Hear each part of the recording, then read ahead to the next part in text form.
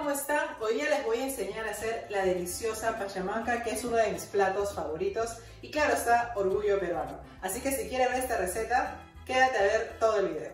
Para los que están viendo este video, quiero decirles que yo radico en el extranjero, por ende no voy a usar todos los productos, pero sí voy a explicar más o menos qué productos también entran en esta deliciosa pachamanca.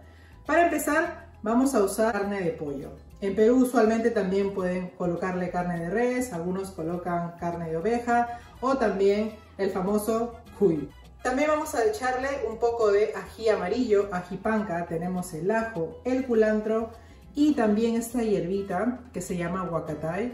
En Perú nosotros usamos la hierba chincho, pero esta vez no la he encontrado, solo he encontrado esta en este pomo de aquí. Y si quieren saber dónde compro yo estos ingredientes, voy a dejarlos en la cajita de descripción, al igual que toda la receta de este plato. Un poco de vinagre, también tenemos los condimentos que están aquí, y claro, las habas, el camote, las papitas, y en Perú también le colocan lo que es la oca. Así que vamos a aprender cómo se hace esta deliciosa pachamanca. Primero vamos a hacer la mezcla, el aderezo para...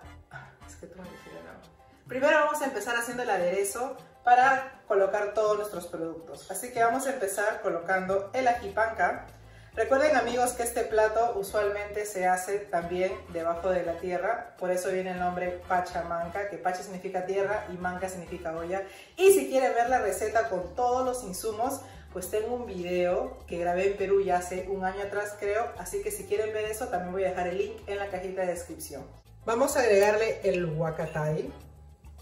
Yo prefiero usar chincho amigos, pero lamentablemente no he conseguido. Me encantaría, es una de mis hierbas también favoritas y que sí es infaltable para este plato.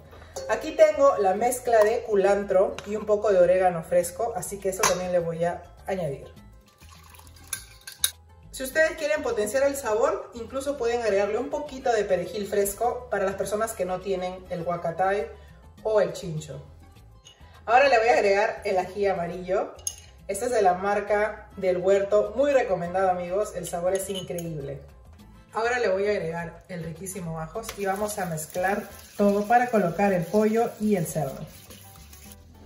Si no le colocaste orégano fresco, puedes colocarle orégano seco como yo lo voy a hacer aquí. Y seguimos moviendo. Ahora sí, todas las especias, un poquito de pimienta si te gusta, también comino y la sal. Sal, cantidad al gusto, por favor. En Perú también nosotros lo cocinamos con un poco de chicha de jora, pero no tengo chicha de jora, así que le voy a echar cerveza rubia. O también puede ser cerveza negra.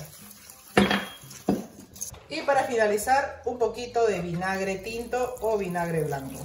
Removemos. Vamos a rectificar sazón. Está bien. Está delicioso. Ahora sí vamos a proceder a colocar la carne. Recuerden que esta carne, amigos, tiene que macerar en este aderezo por un mínimo de 4 horas antes de cocinarlo. Pero para que sea más rico y potencie su sabor, les recomiendo que sea de un día para el otro. Ahora voy a colocar las chuletas de cerdo y vamos a dejarlo macerar. Ahora amigos vamos a colocar las presas, les voy a enseñar yo cómo preparo la pachamanca en la olla. Usualmente lo que yo voy a hacer en Perú va a ser usar los tallos de las hierbas como el aguacatay, el chincho, el culantro y voy a poner una base. Pero como no tengo simplemente voy a poner las piezas de carne como el pollo, el cerdo y luego vamos a colocar la papa y también los camotes. Antes de colocar las papas a la olla para cocinarse, simplemente los coloco en este bol con el aderezo y voy a pasar todo para que el aderezo quede e impregne en el camote y en la papa, al igual que el habas. Ahora sí vamos a colocar los camotitos y las papitas. Y ahora estoy colocando las habas, también el mismo proceso que las papas y el camote, para colocarlas en la olla y luego llevarlas a cocinar. Para hacer este plato amigos yo siempre he usado mis manos, si ustedes quieren pues pueden usar guantes, pero siempre lávense bien.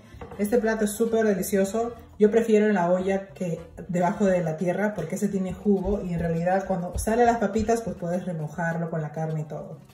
Ahora sí, Sobró un poco de aderezo, como pueden ver, y simplemente lo voy a echar por todo y va a bajar cuando se evapore.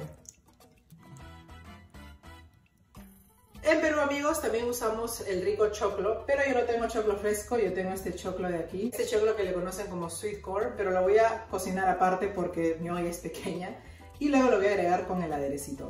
Ahora sí, tapamos la olla y lo vamos a cocinar por una hora a fuego medio alto, pero siempre controlando para, para que no se nos queme. Y chicos, ya pasó una hora, así que vamos a emplatar esta deliciosa pachamanca.